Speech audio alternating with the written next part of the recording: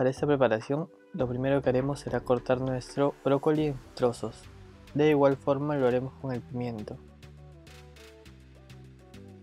El cerdo lo vamos a cortar en tiras delgadas.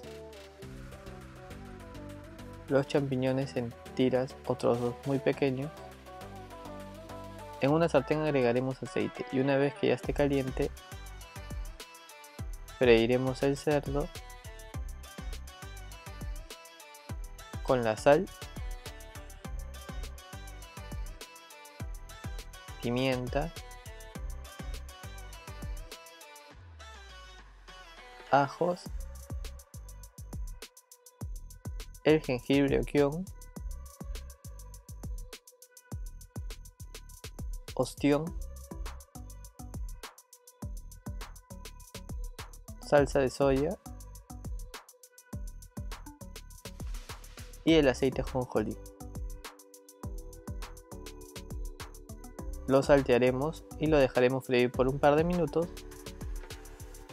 Agregaremos el pimiento,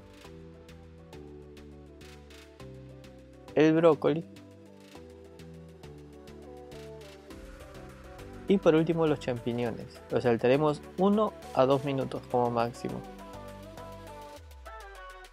Y eso sería todo. Si te gustó el video no te olvides dejarnos un like y suscribirte al canal porque estaremos subiendo videos continuamente y también puedes visitar nuestra nueva página web que te dejamos en la descripción.